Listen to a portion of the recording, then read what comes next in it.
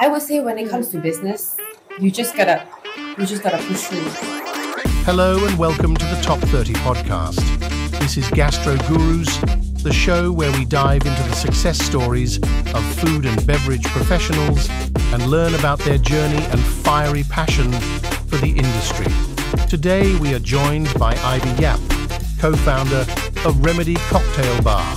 Ivy, a dedicated bartender, has made it her goal to merge classic cocktails and a time traveling experience in one place, a place of remedy. This is Ivy Yap on Gastro Gurus.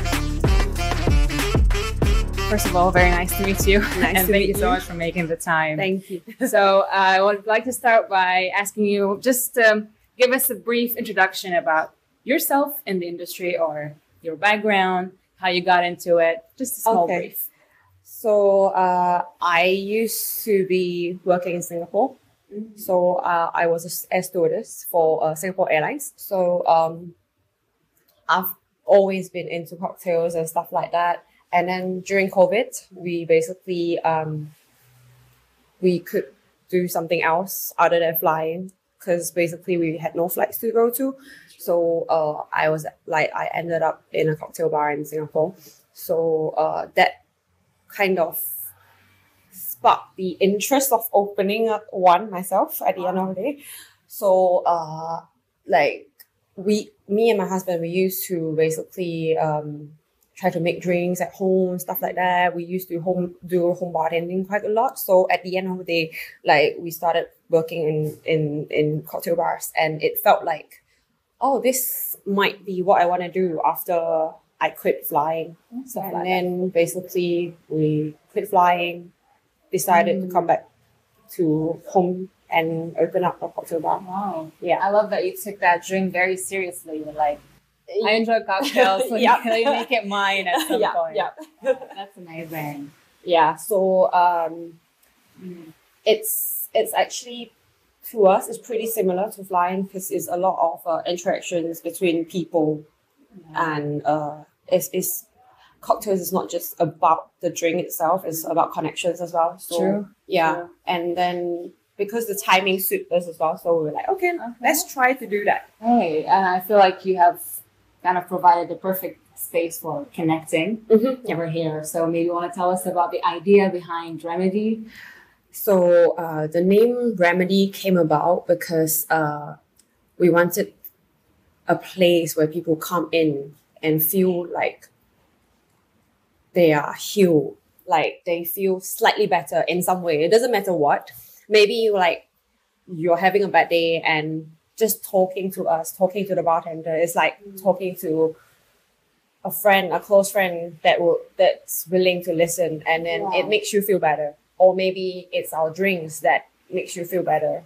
Or maybe it's our playlist that you like and that makes you feel better and you walk out feeling slightly better and that's the whole aim of the place. Wow, that's Yeah. a beautiful message, really. I mean, from my opinion, uh, the vibe of the place, as Mhm. soon as you walk in, that's already like a healing, that's already a remedy. Thank you. and I love all the factors that come into it. Um, so when it comes to the cocktails, to the Mhm. menus, what is your inspiration? What is your focus? we would basically focus on classic cocktails because um, there's not a lot of bars in Malaysia that does that. So uh, we do include some of our specials, like our house specials and uh, creative cocktails, so that uh, basically our bartenders get a, a place where they can express their uh, creativity. But at the at the same time, we try to focus on classic cocktails so that um, uh, people get to know like what really is like cocktails. Because nowadays there's so many creative stuff and people like you go to a bar they might say oh this is basically twisted from like an aviation. But you don't actually know what the original aviation tastes like.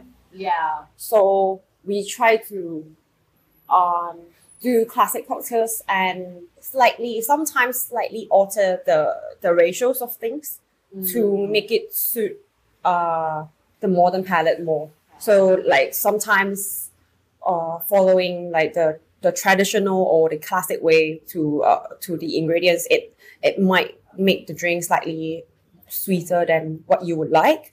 So we try to find the perfect balance. And to be honest, like we we feel like uh class uh like cocktails are still blooming in Malaysia. It's Mm. it's uh a lot of people actually feel kind of intimidated to step into a cocktail bar because you are somehow expected to have some kind of knowledge.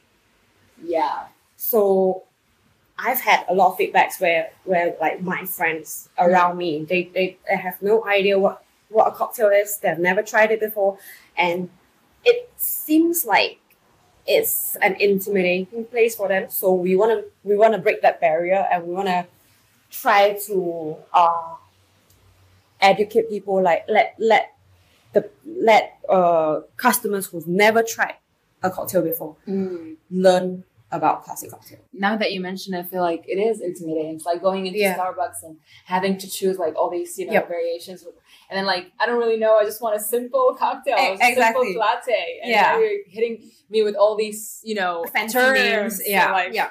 yeah. So I see, I see your point. Because to be honest, some ingredients of cocktails, even if you use the most basic, simple English to try to put it across, it's still very difficult to explain. It's kind of difficult to to to try to order without knowledge, and then and like people don't want to end up looking like a like like a fool kind of Yeah, thing. Yeah. So we we try to um assist and then basically put everything in the most simple form so that people are able to understand more. Uh, you and your husband Jason, Mhm. Ivy and Jason kind of duo, Yeah. uh, who opened this lovely place. I want to know more about the process. Who is in charge of what? You seem to have a lot of knowledge about cocktail. I would say basically um our aim at our bar is kind of different from others.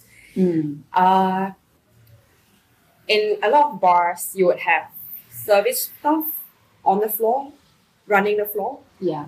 and then you will have bartenders.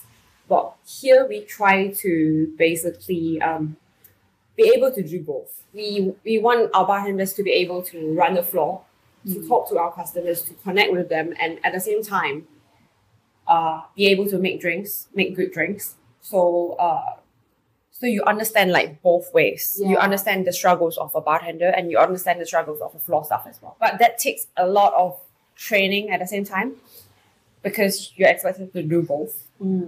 But I think at the end of the day, it's, it's good. So basically, uh, me and my husband, uh, when it's needed, we go into the bar.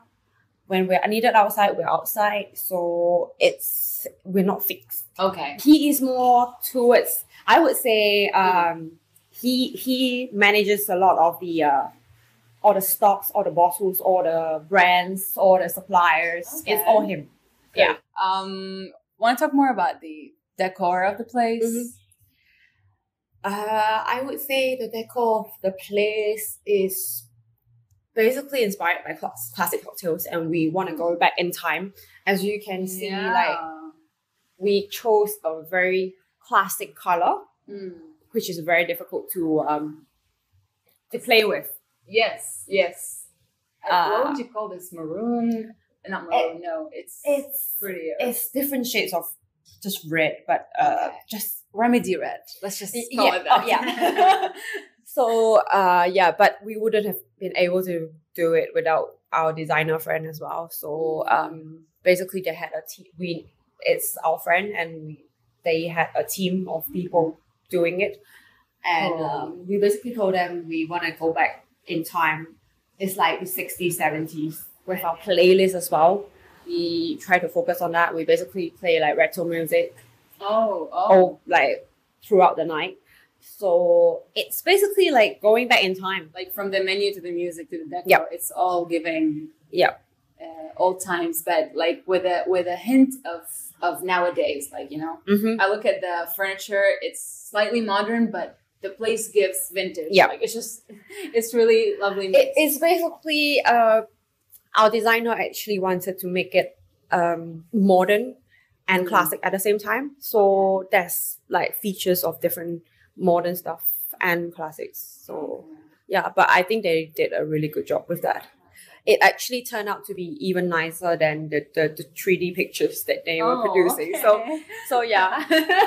well, um, I want to talk a bit more about the marketing. so I would say most of the marketing we've been doing it ourselves.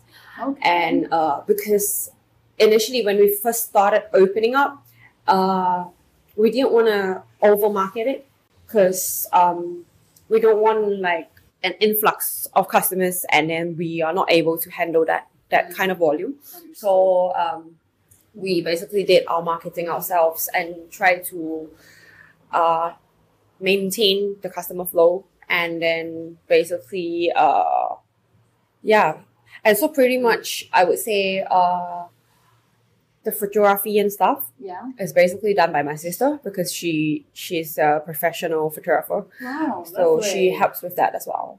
Okay. Yeah. It's like an in-house operation, I would say. Ah. Yes. yeah.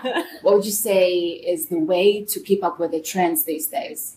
I would say actually different like we, we choose certain platforms Mm. to to do our marketing because we realize like uh, on certain platforms it might not be your uh, target customer Yeah. So uh, there are certain uh, social media platforms that we uh, focus on. And um, as for keeping in trend, like we sometimes we do reels that are in trend, stuff like that, Okay. that that are able to uh, attract more customers, stuff like that. But that hasn't been easy, definitely. Like trying to reproduce it yourself and stuff like that. Yeah. It's quite competitive Yeah. uh, these days when Yeah. it comes to the presence online. Mhm. But it always comes back to the traditional, you know, organic kind of marketing. So people, when they come here, I mean, I personally want to like go tell every person I know there's this bar, you guys gotta come and check it to, out. to be honest, a lot of marketing has been done through word of mouth, I would say. Mm, Definitely mm, by mm. our regulars and stuff.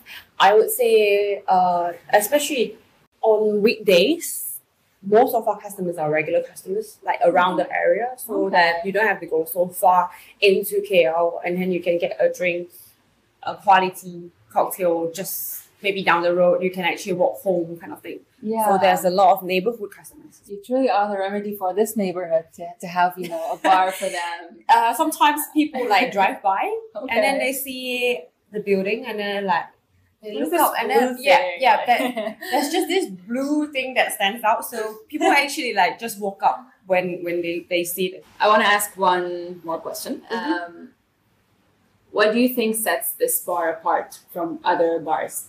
I would say it's the people it's the people in it that that actually cares and then uh we want we actually want you to come in and feel like you're at home. Our regular customers, we basically come in, we greet them by name. We know where they stay. Like I have been to houses of my regular customers and they Oh. ended up becoming friends. So it kind of feels like you're coming home to drink and it's their second home kind of thing.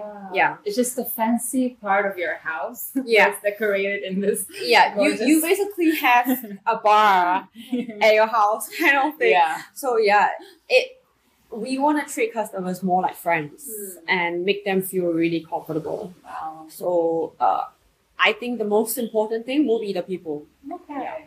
Yeah. Yeah. Lovely. Uh, as a person who has started this uh, fairly newly, or like maybe your first F&B Mhm. project, I Yep. would say, um, what advice would you give to someone like you a couple years ago who's just like is interested in the idea, think about the idea, Mhm. but is kind of scared to jump into it? What advice would you give? I would say do a lot of research, market research, stuff like that.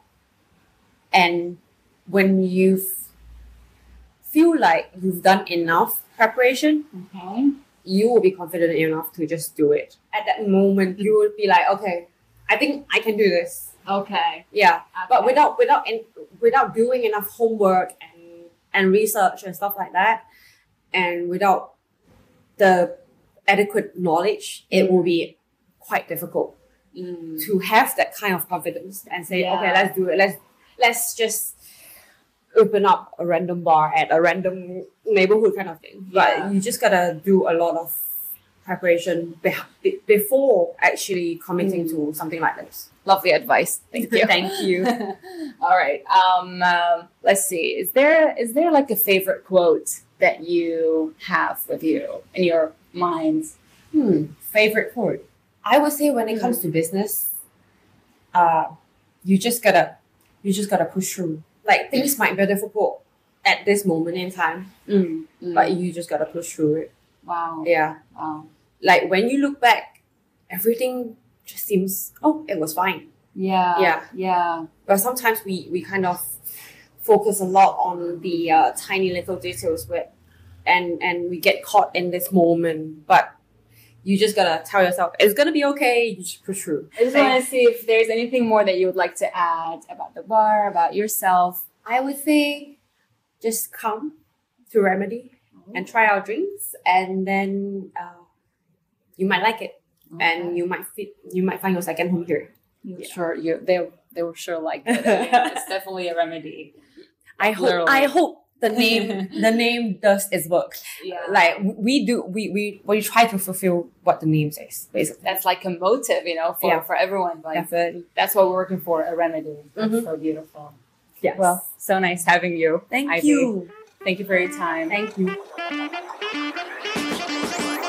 And that wraps up another episode of Gastro Gurus, where the flavors of life come to play. Today, we journeyed through the extraordinary world of our F&B heroes, discovering the passion and creativity that fuels the vibrant culinary landscape. We hope their stories have inspired you, tantalized your taste buds, and maybe even sparked a culinary adventure of your own. A big thank you to our amazing guest, Ivy Yap, for being here today. And of course, to you, our listeners, for joining us at the table of exploration and discovery. Don't forget to follow or subscribe to Gastro Gurus wherever you listen to your podcasts so you never miss out on our next culinary expedition. We'd love to hear from you as well. Share your thoughts and maybe tell us about your own food experiences and discoveries. See you on the next episode.